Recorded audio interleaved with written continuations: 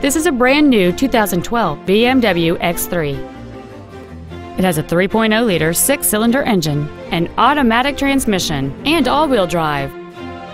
Features include the premium package, a power moonroof, heated front seats, a CD player, a leather wrapped steering wheel, a security system, a passenger side vanity mirror, a traction control system, air conditioning with automatic climate control, and roof rails.